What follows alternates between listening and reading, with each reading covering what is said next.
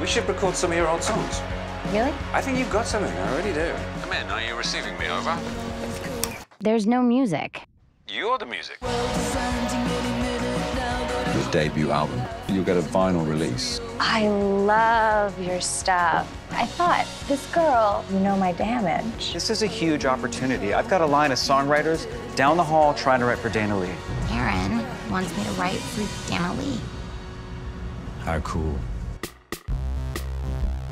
I just don't see you as just being like a cog in a big machine. Darren, I love her. I love her. I want her. Can I have her? You know, when a singer finds a writer they think sounds like them, they hang on for life. Come on, I want my next hit. Here, listen really carefully. You can hear that transmission. They scare people. Don't scare me.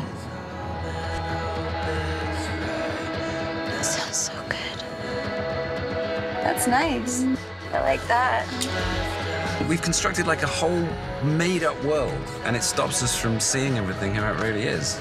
Stop thinking. What are you feeling? If you can put that into your work, then you're going to come up with something really great.